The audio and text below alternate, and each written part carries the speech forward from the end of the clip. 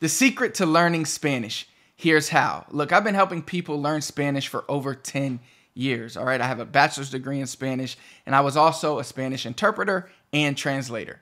Now, I want to tell you the one thing that you can do right now to learn Spanish better in the next 30 days. I guarantee if you do this, you will improve. All right. The key is consumption through comprehensible input.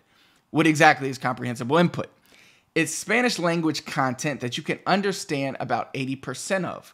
Now, this 80 20 rule is crucial because if you understand less than that, you're going to get frustrated. You're not going to know any of the words. If you understand everything, it's going to be too easy. You're not challenging yourself.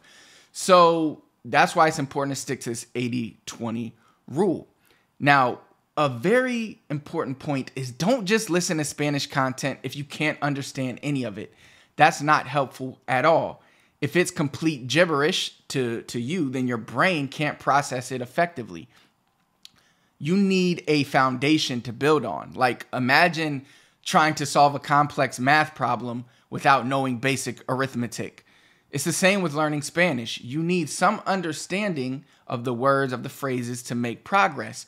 That's why comprehensible input is so powerful because it gives you that necessary foundation while still pushing you to learn more and have fun learning.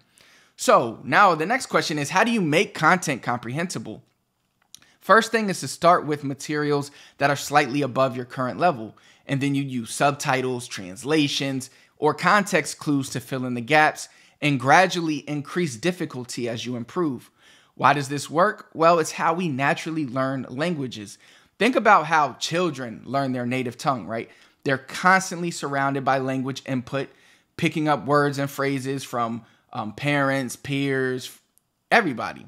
Adults, we can do the same, but we have an added advantage. We can use translations and other tools to make input comprehensible faster. So, for example, like let's say you're watching your favorite show um, Spanish language show on Netflix, right? You start with the subtitles in Spanish so you can see the words as you hear them. This helps you connect the spoken and written forms of Spanish.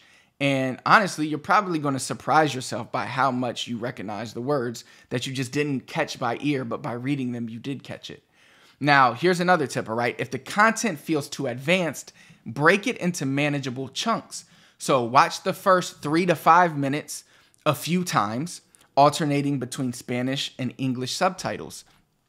Once you understand what's happening, try watching that segment without subtitles. All right, now this method helps you gradually build comprehension and confidence. So, another key, another tip, as you go, jot down the words and the phrases that you don't know and then review them daily. All right, this active engagement will significantly boost your Spanish learning. Do this for at least 30 minutes a day, every day for the next 30 days. You'll be amazed at how much your Spanish improves. Because remember, you're training your brain to recognize patterns, sounds, and structures in Spanish. So don't worry if you don't understand everything immediately. Remember that 80 20 rule and go slow. Keep at it, and your Spanish knowledge, your ability is going to come guaranteed. So, look, immerse yourself through as much comprehensible input in Spanish as you can videos, podcasts, music, everything. Your brain will thank you, and your Spanish, you're going to level it up. Buena suerte.